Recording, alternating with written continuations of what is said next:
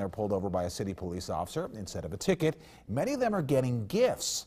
News 12's Bill Mitchell tells us it's hard to determine who's enjoying the event more, the drivers or the cops.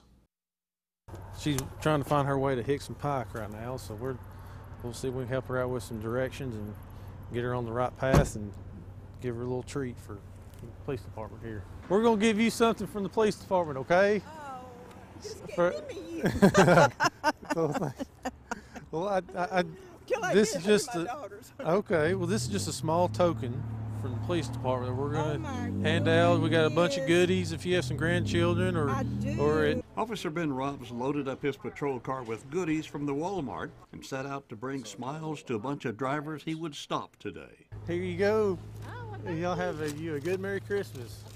Thank Eh, you. Walmart in Soddy Daisy, which has always helped the fire department at Christmas, came up with an extra grant of $2,500 for the police this year. I have two sergeants, uh, Mike Brown and Keith Lovelace. Both of those sergeants came to me and uh, said that they would uh, like to be able to utilize this grant from Walmart, and they'd like to be able to go out and uh, put this back into the community's hands. Acting Chief Jeff Gann went out yesterday to patrol his town and he witnessed some emotional scenes. I handed it to her, and when she took one look into the um, into the bag, she she began to tear up and started crying, and uh, she she told me that I had no clue uh, of the timing of this taking place. But Chief Gann says he actually did feel her need.